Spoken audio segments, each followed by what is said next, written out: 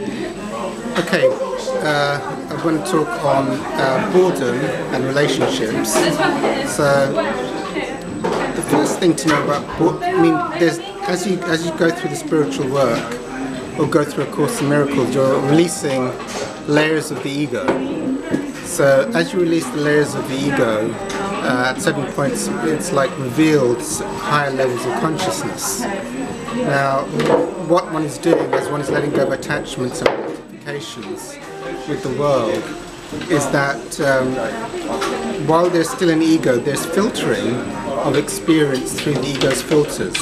So there are different levels of consciousness, and you're bringing up various dualities or pos- positionalities of the ego through which you, you um, perceive what seems to be uh, reality uh, or ego perception. Now, as you do each lesson or as you keep doing the spiritual work, what's happening is that those uh, preconceived filters or beliefs or ideas from the ego uh, eventually come up. And it depends on how strongly ingrained or identified those ideas are. Now, in terms of romantic relationships or any type of relationship, you know, there is this thing, I would say, from my own experience, of this thing of like, oh, you're going to be feeling this feeling of madly in love, or this uh, feeling of union, or whatever it is, unity, that many of the Hollywood movies uh, sort of connotate, you know, oh, I feel so in love, sort of thing. But um, the, um, if you like, while you're doing the spiritual work, like the Course in Miracles, you're gradually chopping off all those identifications like a, a, relationship, even a romantic relationship or any relationship, it's it's it's it's uh, imbued with specialness. You know, the ego has. If you say there's is my relationship with my parents, my relationship with my romantic partner, my relationship with my work colleague, they're all so-called special, and they have a, a lot of beliefs and attachments associated, and so they filter through the ego. Now, the ego loves. Um, loves uh, duality, ups and downs. So it's like I'm feeling, I'm feeling madly in love, or now I'm feeling really angry. So you get these positionalities, and those are the belief systems that are being filtered. Automatically, when you're doing spiritual work, it's like the next belief systems come into alignment for for um, for the chopping block. Basically, it's like, are you willing to chop and let go of these uh, ideas, belief systems, positionalities? and the ego then and then you get to face what's coming up from the ego where the ego wants you to hold on to the various payoffs and not let go of things so you can carry on perceiving through those filters so the ego always um, um, strongly try and make you stay stuck and not give up those so you can go to the next level so they ch- uh, often cherish uh, positionalities. Now, one of the one of the common things, there's a few common things I hear from spiritual students. One is boredom. The other recently is curiosity. But they're still both ego uh, ego emotions. So boredom boredom is like the ego has to live on on on a roller coaster, an up and down kind of thing. It doesn't want because if there was if there was nothing for the ego to do in a relationship, that would signify the death of the ego. Like it can't. Uh, so, for example, what's the opposite of boredom? Bo- bo- the opposite of boredom is it, could mean different things. Maybe to the ego, because it's a positionality, it's a duality. It's, a, it's if you've got boredom, then there has to be the other thing. The other side of boredom might be love or intensity or something like that. So the ego, boredom is actually a really, really positive sign that the ego is being challenged because the ego, in order to exist, needs to carry on the up and down, the duality, the positionality. So if there's a boredom, then there must be an excitement. So there's uh, something for the ego to do.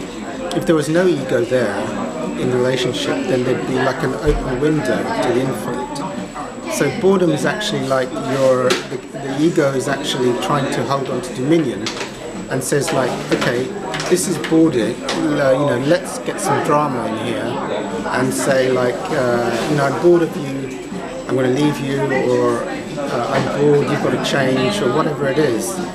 So, the, so this is the idea of causality or control with force. You see, the ego is saying you've now got this feeling, you couldn't do any spiritual work, that you're bored. So the sick, it now has a job to do because it's got belief systems. It needs to control the situation, change the situation, or force the situation to escape the boredom.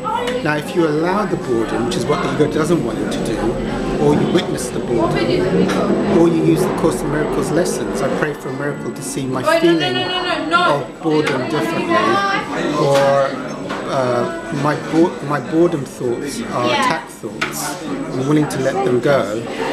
Or, um, you know, so you can see boredom can be like a feeling, but that, that's being observed, or it can be an underlying thought like this person, there's no excitement in this relationship. It just seems to be nice and neutral. So that again is another object, another thing. So when you uh, allow that or use the Course of Miracles uh, to, to, to change that, or to ask the Holy Spirit to intervene to remove that, then what happens is eventually that feeling of boredom and the beliefs of boredom eventually get dissolved. But it's a, it's a period of testing. It's like the ego wants you to go down and get into boredom and then drama and create a lot of drama around it. Like the problem's you, you're boring, uh, you've got to change, or I'm going to get angry, or some whatever it is. Or but it doesn't want you to release the boredom, and then you know, so the ego will fight for a while a lot of thoughts and belief systems and feelings, and you use, use the observer, the Course in Miracles, or any other spiritual tool, and eventually at a certain point, it's like the ego gives up and you release that and then you go on to the next level of consciousness where that those filters which are being tested at the moment get dissolved. And so you know like the ego will go well i'm doing this it might say things like i'm doing the spiritual work. I've been bored for three days. So i'm going to control the situation. But you still got to if you're doing the course of miracles carry on doing the course of miracles. And let the holy spirit cut the boredom out. Because there it's like in the but here's the thing with spiritual seekers there's different layers there's the thing of um, even when you get to the infinite there can be infinite peace infinite love uh, infinite bliss so what's what's um, what's holding on to the different levels going up is that there's still different filters that need to be transcended and worked through and you work through them in divine order uh, so in terms of a romantic relationship if I got boredom well the thing is in in truth, there is no duality. In truth, there is no this and that. And in truth, there is no such thing as boredom or time or uh, you're not good enough because you're making me feel bored, I need something else. That doesn't exist. So what that is, is just filters. they're just filters and belief systems and dualistic perceptions which are cutting, because what's here is always here. You don't have to like change a person or change the weather or change. I mean, you know, it's always here. So the problem is not that. And usually, um, uh, with something like boredom, it's often. I mean, it depends what the lesson the boredoms bring up. One of the lessons could be with boredom. For me, usually it would be like my ego wants an up and down, like to have some excitement and drama, to get stimulated so you can start thinking and controlling things. Because that's the drug, you know, the adrenaline up and down. It doesn't like just just uh, getting to these deeper layers of, of experiencing that inner love and that inner oneness, uh, which is irrelevant, so that the externals are totally irrelevant to that inner sense of well-being. So I just say like the boredom, I, I can observe the boredom, I can pray for a miracle to see it differently. The boredom's not, the situation is not boring, it's my ego is creating the perception of boredom, and there's nothing wrong with the situation. There's nothing wrong with any situation. So the presence is always here. It's not, not so I need to uh, so it could be that the, you know one of them, like boredom, is just to let the boredom be there because if you allow the boredom to be there for however long it's going to be there, it's like you're starving the ego. Like ego is going, do something, do something to create drama. And if you just allow it, eventually you run out of the boredom and then you go on to the next level. It's like it's like the spirit won and the ego lost. Because the ego wants to create more drama uh, and, and resisted that. And then eventually there's a miracle and it's just released and then the next lesson comes up or uh, I could observe it. So let, let's say uh, I'm with someone and I'm finding them boring. Well, that's my ego finding them boring. So I could say like, okay, uh, boring, boring, boredom is a feeling that comes and goes. Okay, what's observing the boredom? And is the observer of the boredom bored? Oh, no, it's not. The observer of the boredom. So bore, boredom is just an object arising from the ego to try and make you do something, activate the ego into more drama. So you then start to see that that's an illusion because there isn't such a thing as uh, I mean, boredom isn't real. Or it could be there's certain lessons coming up with beliefs, um, like I think a partner should do exciting things regularly, otherwise they're not, they don't love me, whatever it is is coming.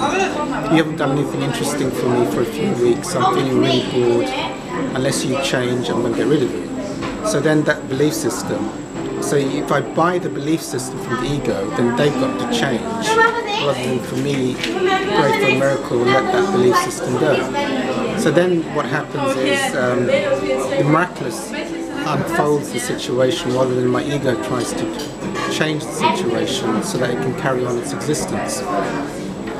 So I would just be trying to, uh, doesn't mean sometimes in different situation, but that's how it's it. It's like there is no such thing as a boring situation. I mean, boredom is just a, it's, it's just it's either a thought or a feeling that's arising.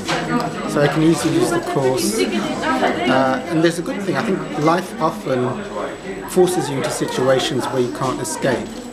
Uh, so you might have boredom for a few weeks with a partner, and it's like you can't just easily just cut them off.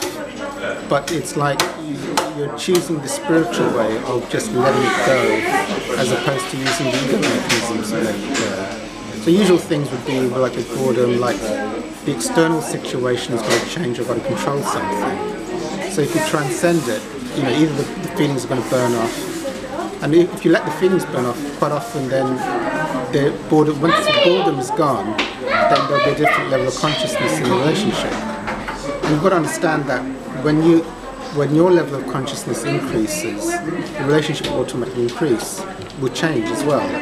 But that's miraculous, miraculous change as opposed to the ego saying, I feel bored, I'm going to control you to change, which is not miraculous change. That would be that would create even more darkness uh, in the situation.